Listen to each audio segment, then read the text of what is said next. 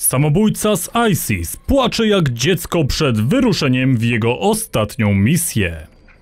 Przestraszony bojownik samobójca z ISIS, identyfikowany jako Jafar al-Tayyar z Uzbekistanu, zalewa się łzami przed wyruszeniem w samobójczą misję w mieście Fuła w Syrii.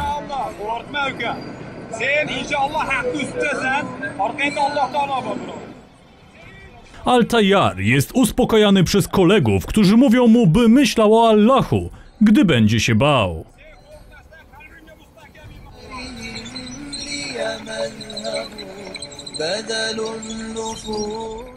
W końcu rusza swoim pojazdem, by po chwili zakończyć swoje bezużyteczne życie.